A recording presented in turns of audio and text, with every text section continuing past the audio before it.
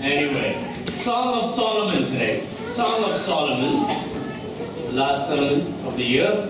Song of Solomon, chapter 8. Song of Solomon, chapter 8.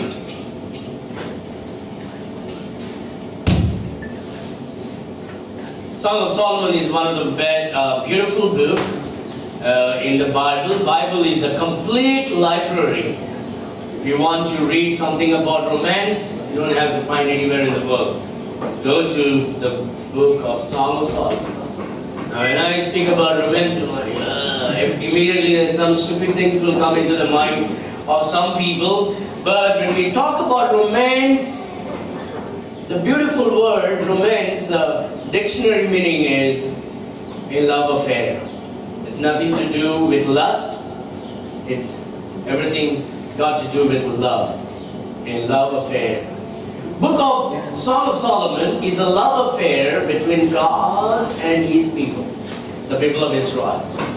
And very specifically, the book of Song of Solomon is a love affair between the church and the Lord Jesus Christ. The church is known as the bride of Christ.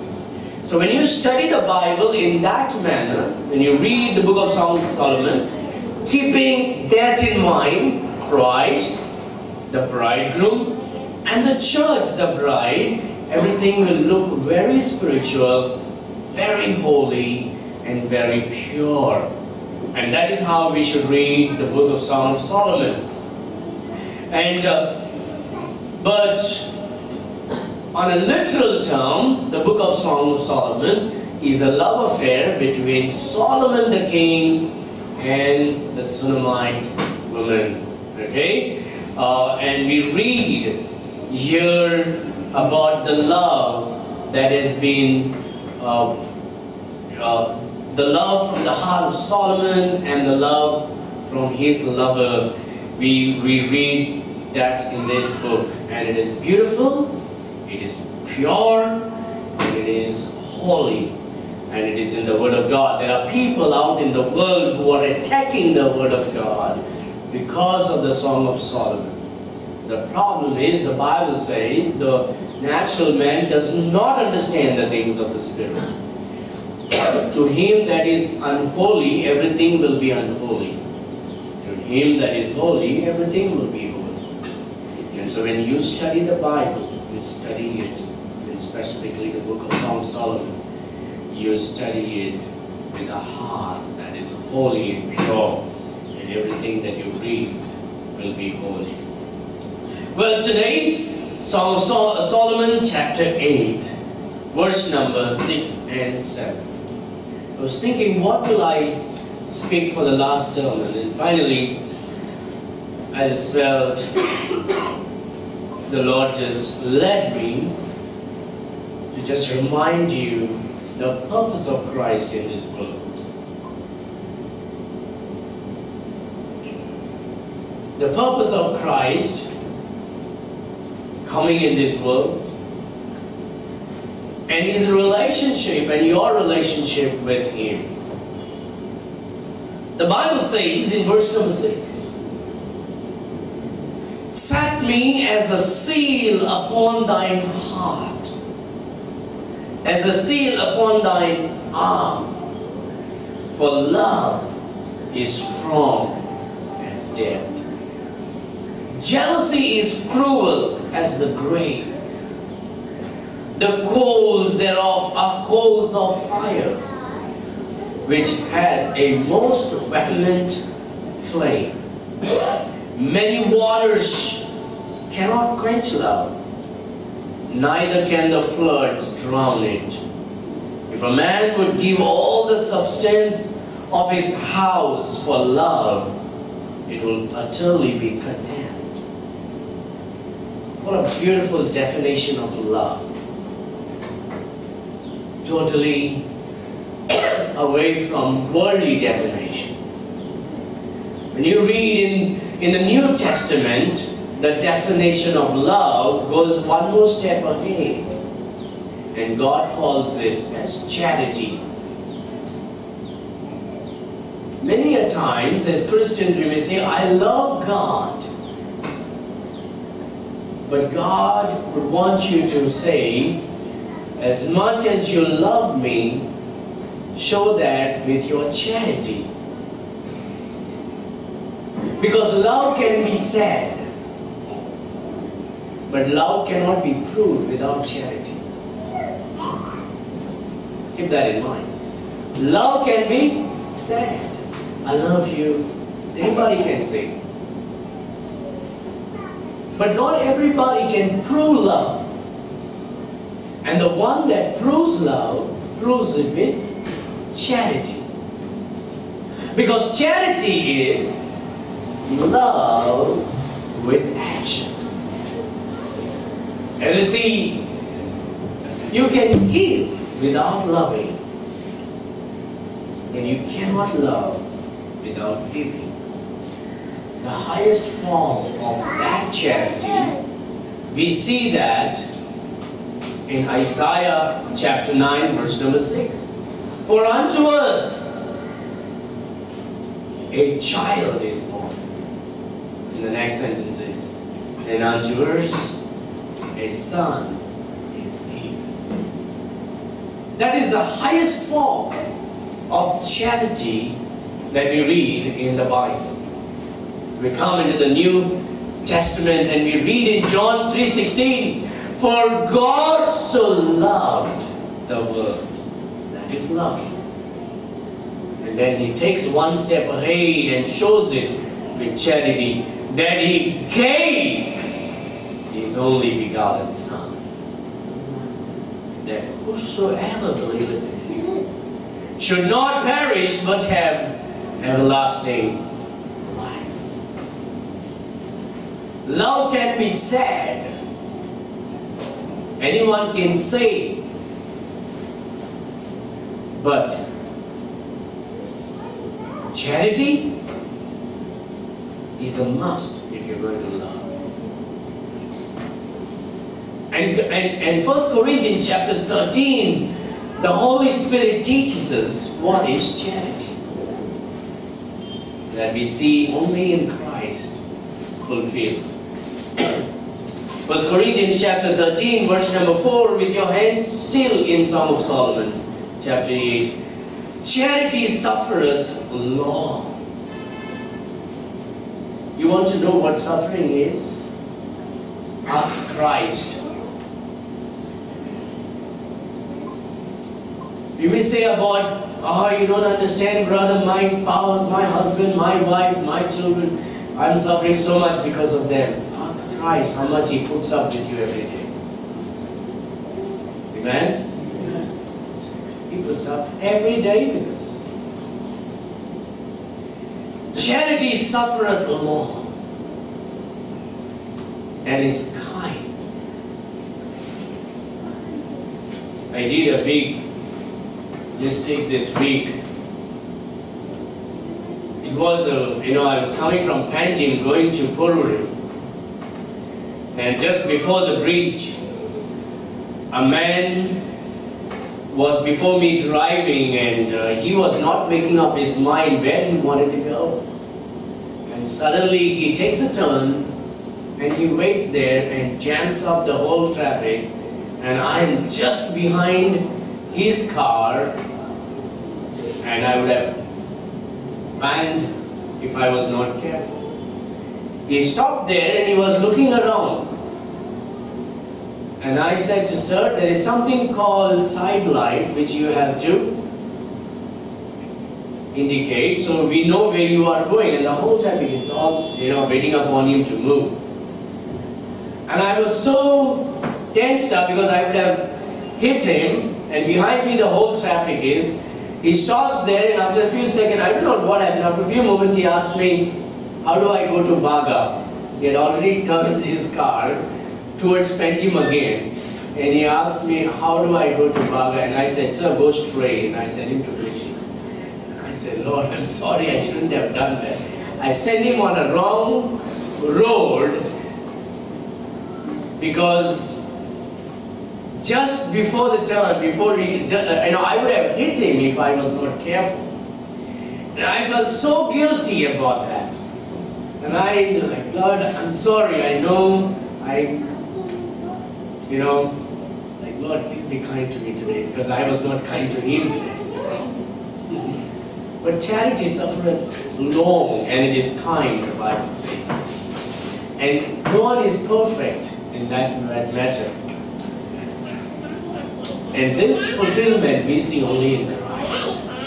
It puts up this. No matter what we do, the foolish blunders that we commit. Charity suffereth long and is kind. Charity envieth not.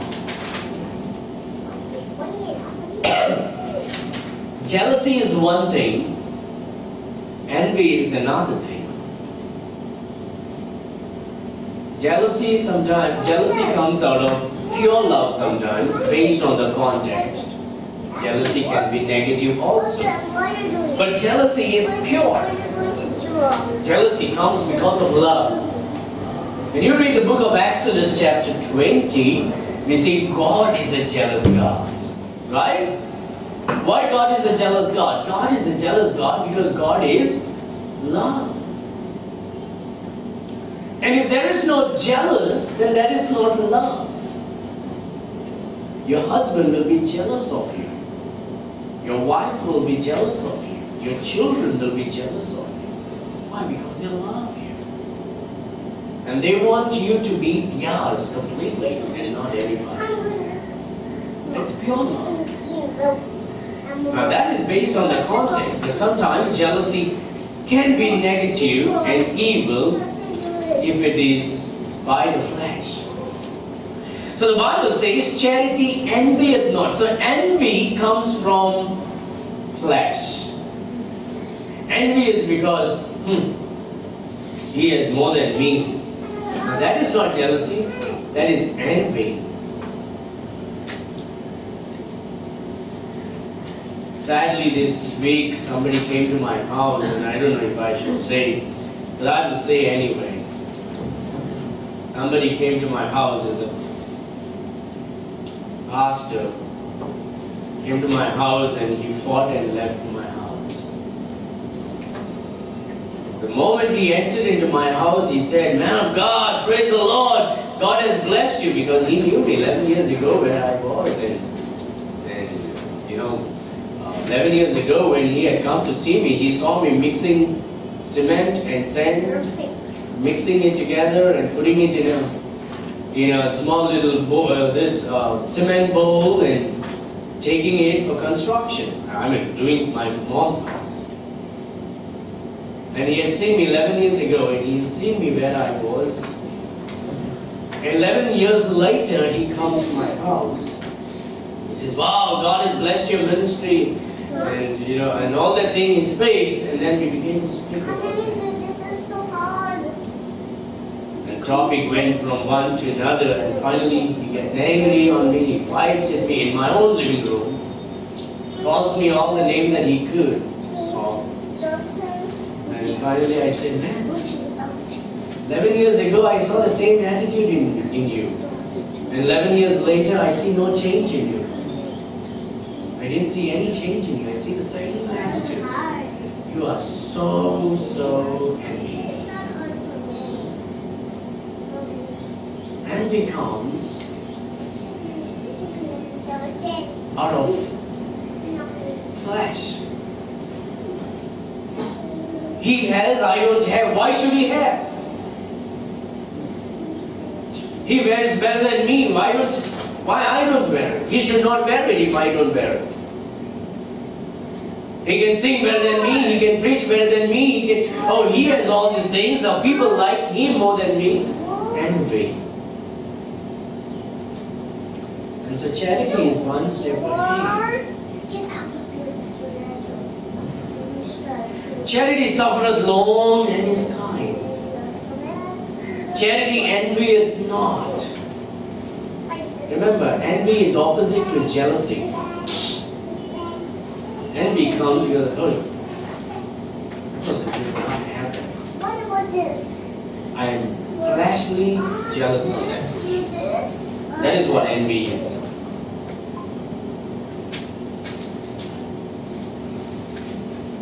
Charity wonderful.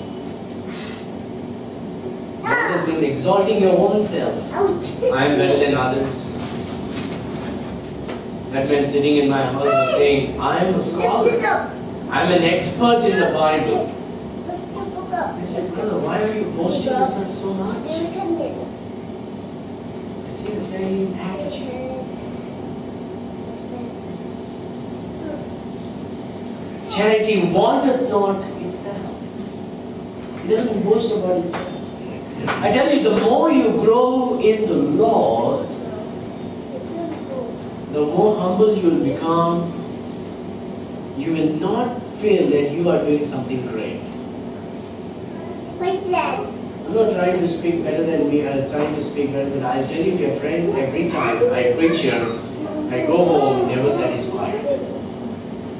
I never feel that I've done good. And I only feel happy when some few people will come. Tell me, Pastor, thank you, that was a good message. People don't say when they are offended. but I thank God that God still speaks. But charity will never want. Want. V-A-U-N-T-H. Boasting. I'm so and so and so, I'm greater than, I'm, I'm better than them, I can do this. No. It not puffed up. You know what puffed up, right? Does not become like a balloon. Because when you get puffed up, somebody small little safety pin, pin can bust you off. What's that? What are you doing? Do not have, does not behave itself unseemingly, indecent behavior, unseemingly. Seeketh not her own, is not easily provoked, thinketh no evil,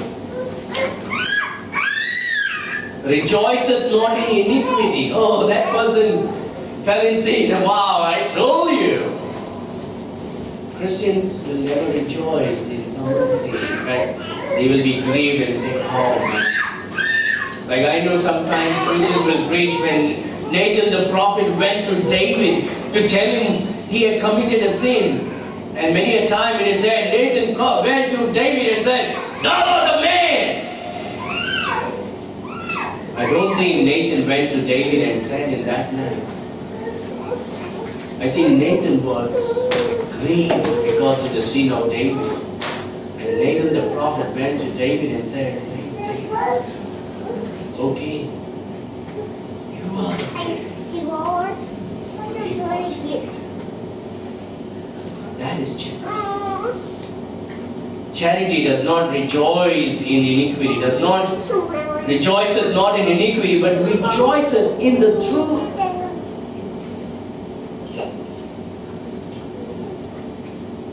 That's why when you see someone in false doctrine, you're not going to keep quiet. You know why people keep quiet? Because they rejoice in someone's false. Love will tell the truth. Rejoiceth in the truth. Now, if people misunderstand you and criticize you, that's okay. But you better be practicing charity by telling the truth to people. Beareth all things. Believeth all things. That does not mean if I come tomorrow and say Jesus Christ met me this morning in my bedroom and he told me, I saw him, know, he's 9.5 foot tall. Jesus came to my room with Moses and Elijah. That does not mean you believe it all. Believe Believeth all things believing the truth, the word of God. Not some fancy visions and dreams. Believing the word of God. Amen? Because First Thessalonians chapter 5, we are told to prove all things and hold fast that which is good. That's called balanced Christian life. You don't jump to extremism. Believe in all things. Believe in the Bible. Believe in all things, hopeth all things, endureth all things. Why? Because charity never faileth. But whether there be prophecies, they shall fail. Go to YouTube today. Go to Facebook today. You will have all these big time preachers who will give you prophecies. The prophecy for the year 2018 is a year of deliverance and abundance. Your gold is going to come back. And, and this and that. Don't believe all these things. Prophecy shall fail. But the word of God will never fail. There are many people prophesying today. You don't need those prophecies. You want to know what is tomorrow? Go read your Bible. The prophecy is in the Bible today, dear friends. Today's prophets will preach, prophesy about. I can see somebody here in a lady is having uh, stomach issues. You did not eat last night. Well, you will have stomach issues. When did Prophet Jeremiah went and tell, I can see somebody's left leg is paining. I remember 17 years ago, 17 years ago when I was a new Christian sitting in one canteen with another pastor and there was another man who came and he said, he's a prophet. I know, I know. And he said, hey brother, I can see the Lord is telling me your, your toe is paining and I had no problem in my toe at all. Huh? I said that. Be careful. No. Believe with all things with believing the Bible, not believing man. All things that are written in the scripture. That's why the Bible says, for all scripture is given by the inspiration of God. Be careful.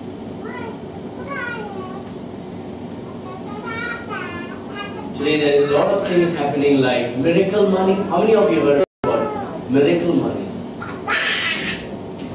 Be careful.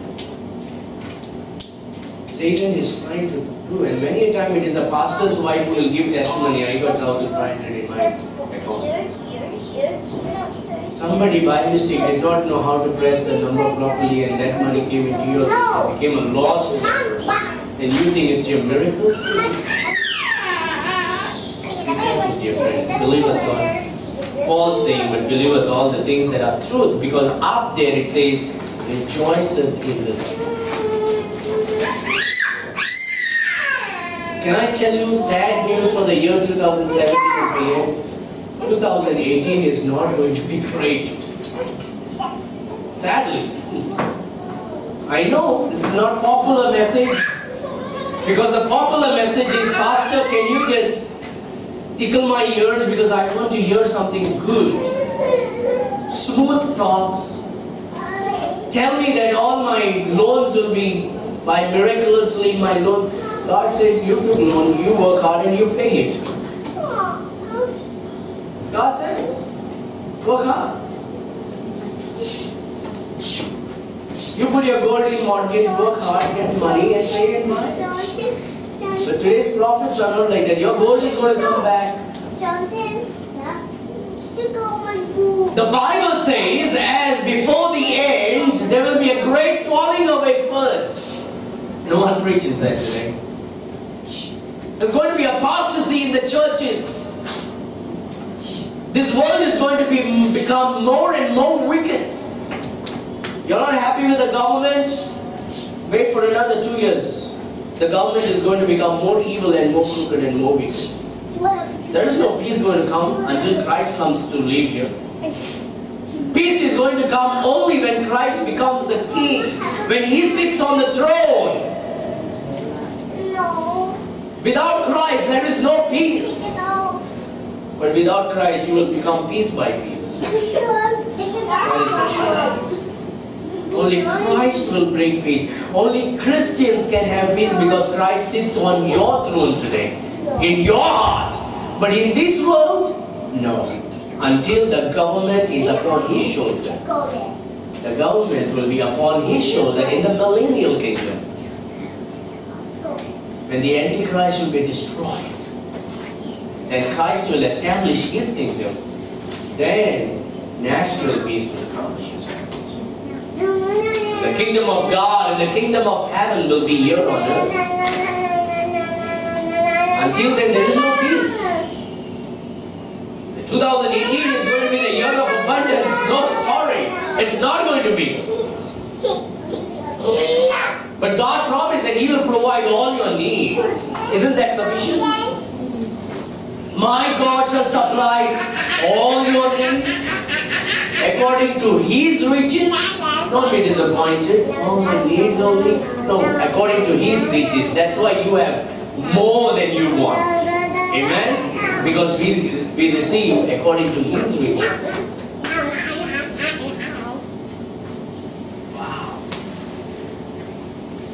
My dear friends, I want you to I want to encourage you.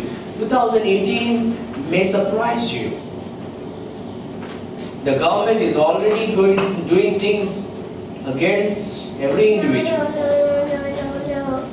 They want to know everything about, about you. They want you to link your Aadhaar card with your pen. Go home, take your Aadhaar card and tie it to your pen in the kitchen and send it to the government. I tied. I linked my pen to the Aadhaar card. They want to know everything about you. India was the first country that took the impression of all your ten fingers and the retina out of your eyes. You and I cannot escape. Don't be surprised. Because false prophets will always say peace, peace, peace. And the Bible says, when they shall say peace and peace, peace, peace, sudden destruction shall come upon them. The only way that you and I can have peace is by having Christ and walking with Him every day. Peace is not in the world, but in Christ. Today's prophecies are for the flesh. Your gold is going to come back. No sickness. Your pigs will not die. No accidents. Nothing will happen. Everything. It's all flesh. When you read in the Bible prophecies from the prophets where everything is spiritual and everything against it, against a nation, calling them to repentance. That was the prophecies in the Bible. Today's it is not like that. I can see somebody over here having, you know, you have some eye problem. And who told you to watch TV last night? Sleep well. You will have no problem in your eyes. Everybody knows, every pastor knows. Most of the people tonight are more on the internet, TV, or on the phone. Last night I could not sleep. And I was just reading, reading, reading, reading. I did this. My eyes just paining this morning. Because I had to wake up like 7 o'clock now. Up, 8 o'clock service is there. Rush. What's doing, Mama? True prophecy is in the Bible, dear friends. And those prophecies shall not fail. But the prophecies of the prophets of this day, it shall fail. The Bible says, I didn't say, read there, charity never faileth, but whether there be prophecies, they shall fail.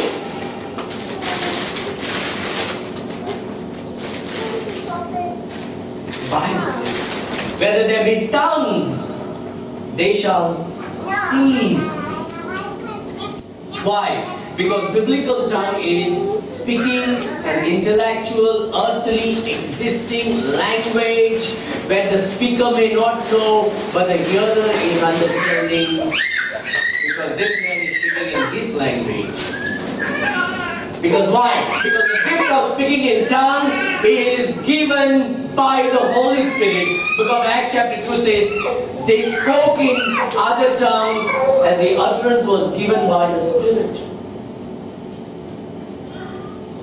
So if a Spanish man comes to our church and I am speaking something, the Spanish man does not understand in English, but I be speaking in English, but he understands in Spanish. It's a gift of tongues. It's a spiritual thing. It is a supernatural thing. That's why the unbelievers did not say, man, what are they saying? Karabara, karabara. The unbeliever says, this is the wonderful works of God. The Bible says, the marvelous. Wonderful. We, how come we hear them speak in our own tongues? That was biblical. That was given by the Holy Spirit. The gift of tongue is a gift given by the Holy Spirit. Not by pastors by laying hands on the head. Not by training how to speak. but the Holy Spirit gives the gift. And He gives according to His will, not according to. I don't speak. When I got saved, I saw people playing all this. I went to my feet and I started reading my Bible from 9 to 2 in the morning, and I would just be on my knees in the midnight crying to God, Lord, give me this gift of speaking in tongues. God did not give me. I don't speak in tongues. Thank God I'm in a good club with John the Baptist and Jesus Christ. They never spoke in tongues, but they were filled with the Holy Spirit. Amen? Because when you will speak in tongue, it will be given by the Holy Spirit and it will be an earthly existing language where a foreigner will understand in his own language when another one will speak. Because the Bible says the first time Peter preached, 5,000 people got saved. How did he, how did that happen? The Bible tells there were people from all over the world who had come to Jerusalem. How did 5,000 people get saved? Peter got up and spoke in Galilee, and the people there gathered were from 13 different nations. And the Bible says everyone heard in his own language the gospel and they got saved. So more, the gift of speaking in tongue was a miracle of hearing because those people heard in their own languages.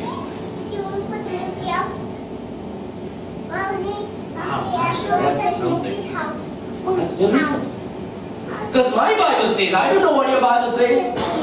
Does your Bible says? 1 Corinthians chapter 13, verse number 8, charity never faileth. Does it say? Does it say, but whether there be prophecy, they shall fail? Bible says. Whether there be tongues, they shall cease. Whether there be knowledge, it shall vanish away.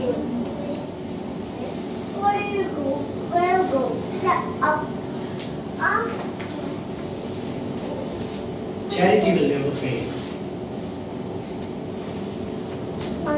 And so charity is not sad, is proven with action. Just as Christ did. And so when you come to Song of Solomon, we see, set me as a seal upon thine heart. I know you love me.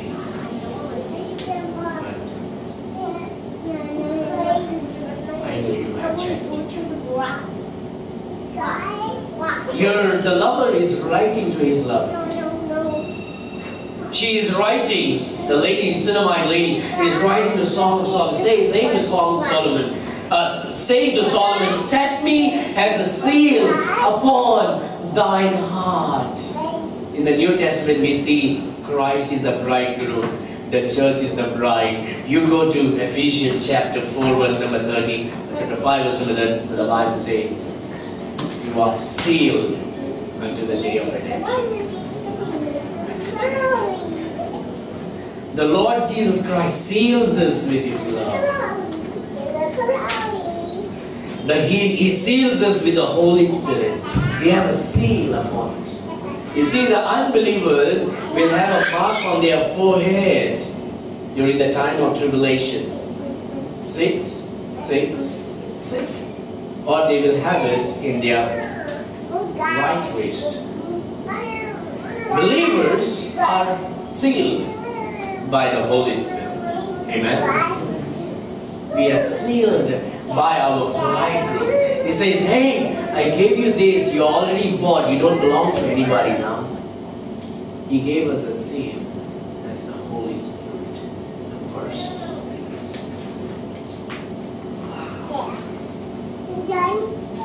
And so Christ set us as a seal upon his heart. The Bible says, Set me as a seal upon thine heart. More than when we pray, Lord, come into my heart, it is Christ who is receiving us into his heart.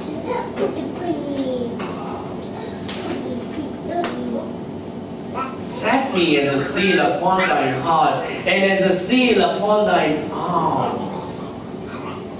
Set me as a seal upon thine heart speaks about the security of our salvation. You belong to me now. It's a sign of security.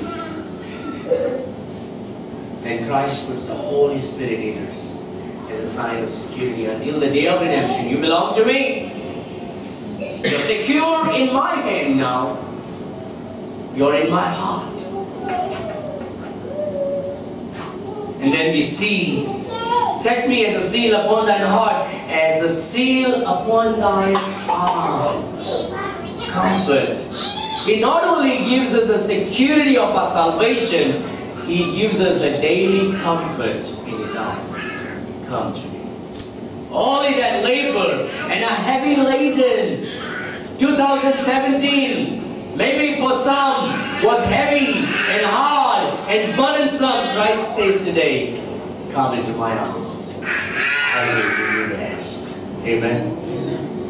All that are labor, all that are labor and are heavy laden, come, come unto me, and I will give you rest. And when you sleep, how do you rest? You rest on your arms. Christ says, rest on my arms. And you read the Bible, the Bible says, I laid my hands on the, uh, I laid my head on the left arms of my lover, of my beloved. That's how we got here. Either you are on the bosom of Christ, like John the Apostle in John 13, or you are in his arms, where you find comfort. Wow. Are you laden? It was heavy, troublesome. Was problem financially in the year 2017, problem in the family, problem physically. Christ is.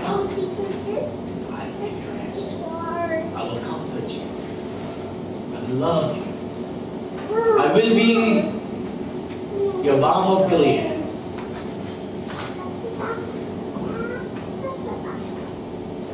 Somebody told me a couple of days ago, a few weeks ago that there was a man who was very, who was sick. And that sickness actually brought him very close to Christ. And there were many people who started saying, Hey, brother, we'll lay hands on you and we'll pray for you. We will ask God to heal you. But this man said, I don't think if I'm ready to be healed. Because that suffering brought me closer to Christ. How many of Christians will start thinking in that manner today?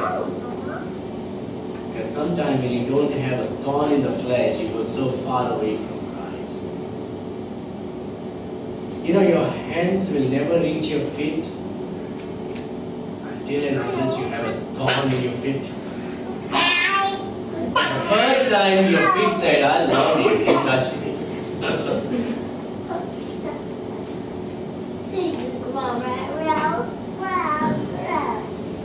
Set me as a seal upon thine heart and as a seal upon thine arm. Comfort in Christ. It's not about entertainment. It's about the reality in Christ. Knowing Him, enjoying Him, experiencing Christ every day. What is your desire for the year 2018 if you don't die tonight, God forbid? Don't be afraid to die. If you're a Christian and if you die tonight, you are in the of God. Amen. Oh man, I don't want to die. Then you better repent and get saved today. It's the greatest day in life of the year. 2017, last day of the year, I got saved. You'll never forget in your life.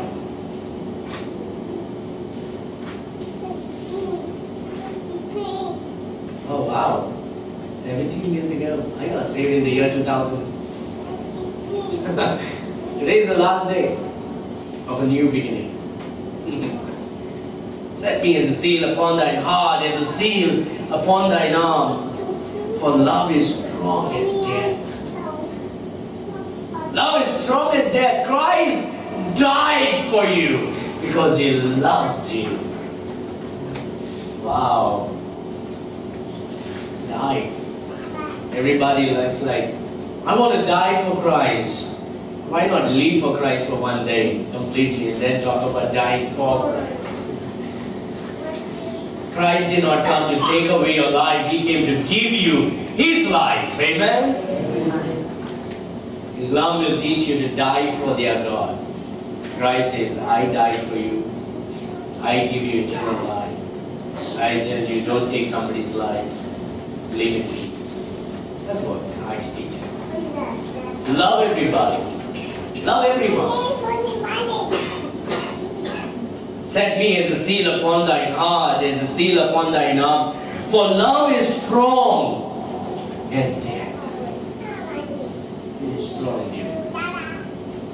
Christ not only told us that he loves us, but he said, I'm going to go out there. And I will die on behalf of you. So you may know how much I love you. Love is strong. One thing you can be assured of this, this morning. No matter what, Christ's love is so real and so true because He proved it. Amen. That He'll never give up on you. Thank God He never gives up on us. How many times we messed up in our life and yet Christ never gave up. Amen. Any witness here? Amen.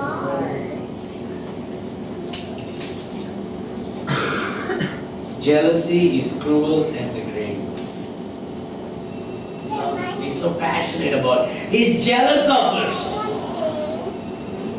He says, "No, you belong to me.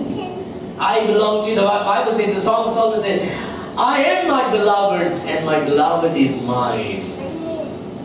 Wow! You want to know something about love? Read the book of Songs. I am my beloved, and my beloved is mine. Jesus is looking into your eyes this morning and saying, You are my beloved.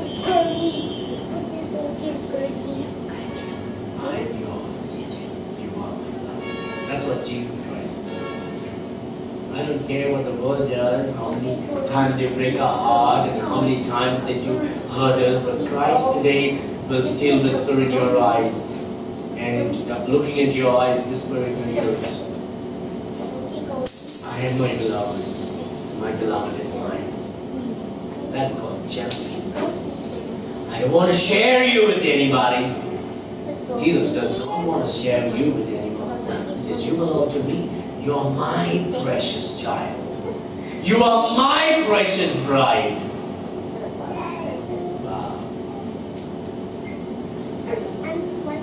Jealousy is cruel as the grave.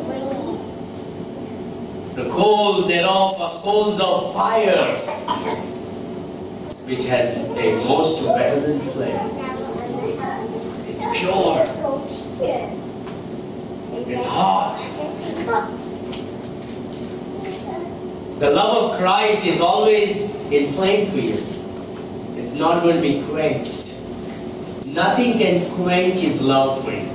Amen? And that He continues to love me even though sometime I have not loved it.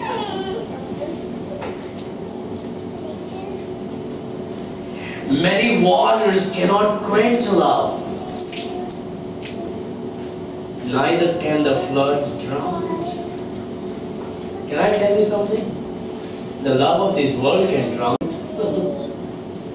I can tell you so many different, so many stories we hear so many false promises are made on, on the matter of love. So many cheatings have been done on matters of love. But the love of Christ,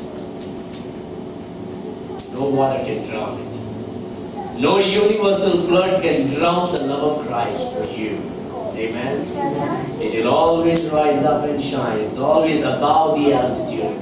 It's always above the mountain. It's His love is greater than you and I can experience, describe, or comprehend.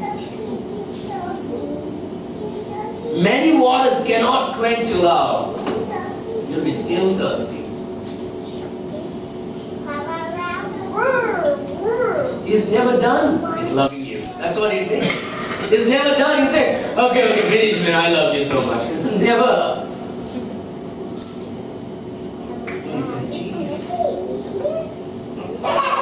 Many waters cannot quench love, neither can the floods drown it.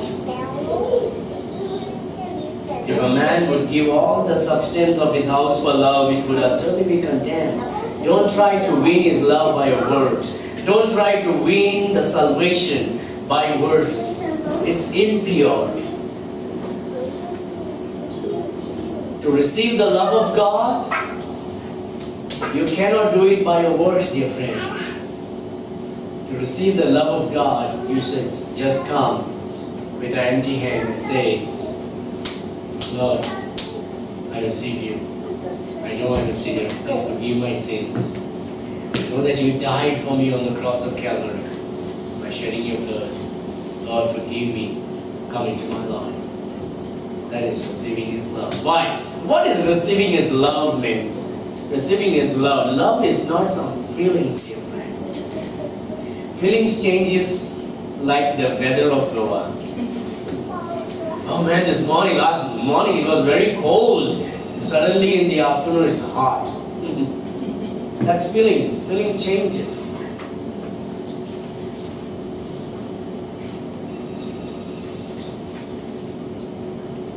But love is a decision.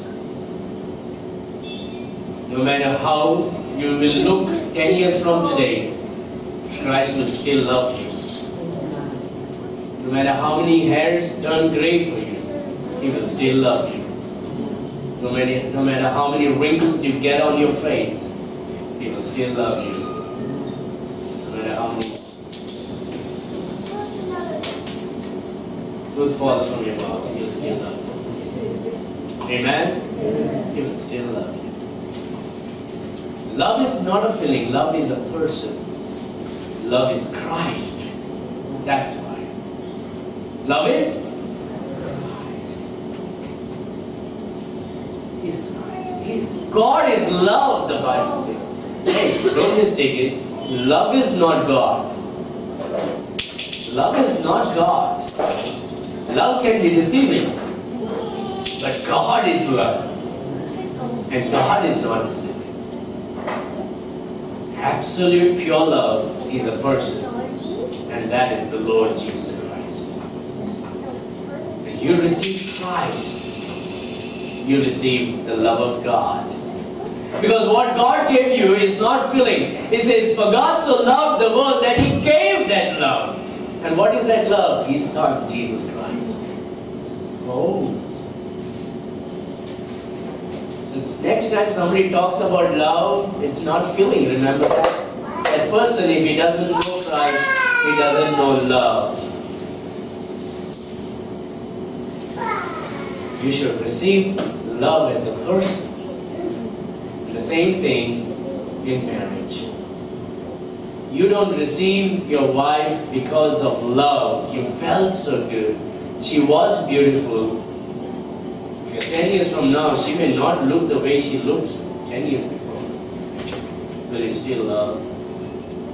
Because if you receive your spouse in a feeling, it will change like the weather. But when you receive your spouse in a decision, it will remain forever. It is a decision. I will still love you no matter what happens. That's a decision. And Christ will love you. Because he's a person. So when you receive your spouse, you receive the person in whichever condition. That's true love. We thank God the ultimate absolute love that we can see today is only in Christ. The fulfillment of charity we see is only in Christ. And then today we can just lean upon that truth and thank God who He is and that He has yet chosen to be in us and to have us in Him. Amen? Because the Bible says, therefore, if my words abide in you and you abide in me, you shall ask whatsoever you will, and it shall be done. Oh, brother, why the things are not happening in my life? First question Are you abiding in the Word of God? Second question Are you sure you are abiding in Christ? Third question Are you sure that Christ is abiding in you? Because if this happens, He will do it for you. Not only give it to you, He will do it for you. Amen.